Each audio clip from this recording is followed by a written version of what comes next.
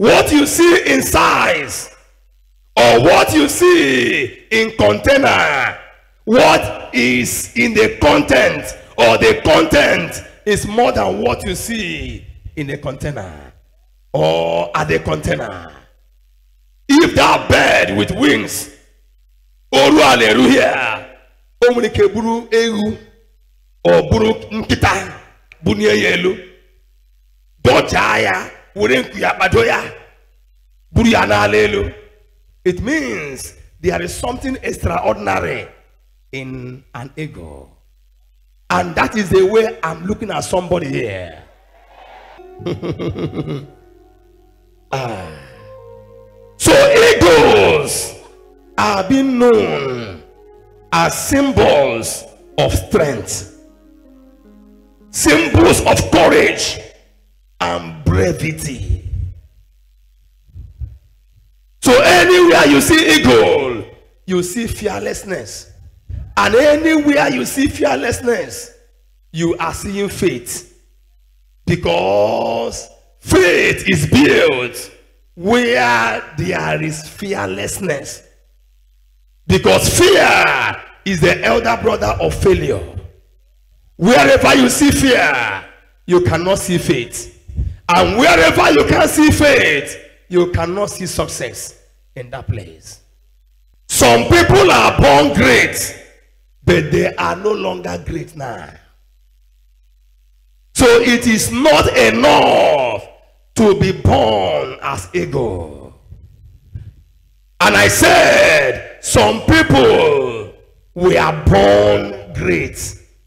But today, they are no longer great.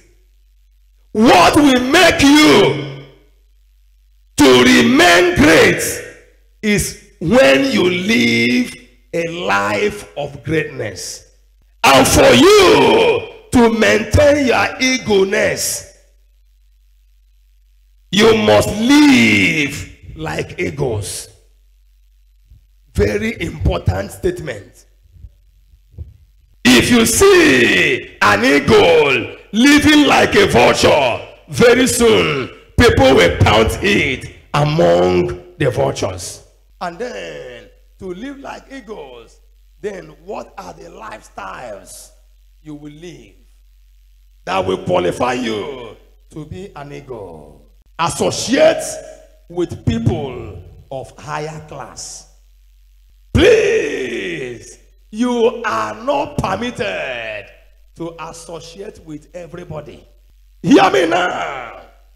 You can, you are permitted to love everybody, but you are not permitted to have everybody as your friends.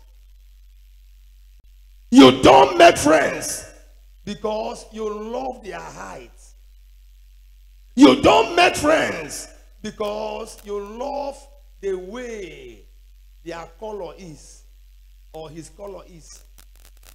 Rather, you must choose your friends among those who are going where you are going.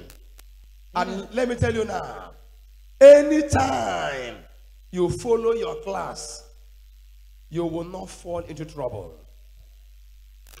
Alright? Anytime you mingle with your class, those who are on the same level with you, you are moving with them, you will not enter into trouble.